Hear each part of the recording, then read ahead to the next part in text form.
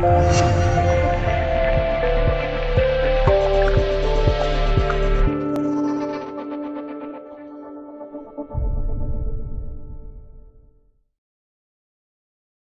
路透社十五日报道，土耳其在官方公报上宣布，将自美国进口的乘用车关税提高百分之一百二十，酒精饮料关税提高百分之一百四十，烟草提高百分之六十，对化妆品、大米和煤炭等商品的关税也有所提高。此前，土耳其总统埃尔多安刚刚宣布抵制美国电子产品，传统同盟动摇十日。美国宣布对土调整关税，并直言美土关系一点都不好。英国卫报报道称，美国总统特朗普宣布将土耳其钢铁和铝产品进口关税提高一倍。当日，土耳其里拉对美元汇率跌幅达百分之十七。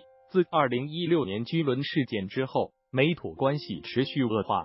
八月以来，双边关系更是急转直下。二零一六年十月，美籍牧师安德鲁布伦森。在土耳其被关押，被控组织参加了反对总统埃尔多安的未遂政变。美国多次敦促土耳其释放该牧师。今年七月二十六日，美国表示，如果土耳其不释放该牧师，将对土进行制裁。土耳其随后回应，不会容忍威胁。口水仗愈演愈烈，美国在十日正式宣布制裁，美土传统同盟关系迎来巨大挑战。战略分歧凸显特朗普政府制裁土耳其，对内是着眼中期选举，对外则是表达自二零一六年以来，美国对埃尔多安政府与西方政治制度和价值观渐行渐远，与北约离心离德的不满。上海外国语大学中东研究所副所长孙德刚在接受本报采访时说：“二战结束之后，伴随着……”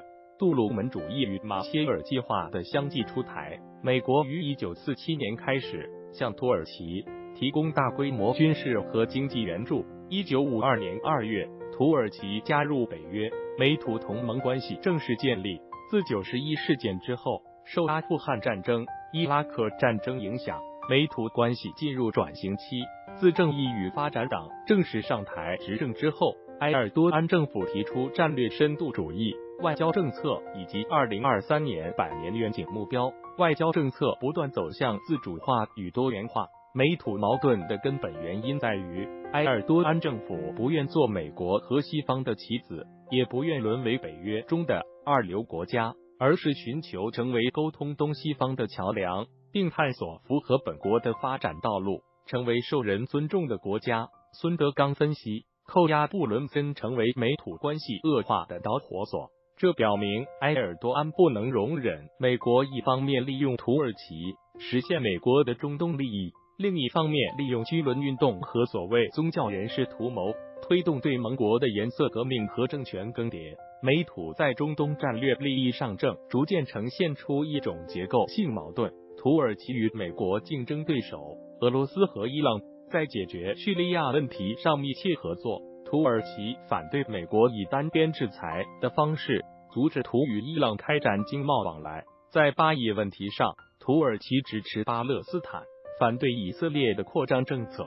突出兵占领叙利亚北部，打压美国在叙库尔德盟友人民保卫军等，避免矛盾升级受美国宣布制裁影响。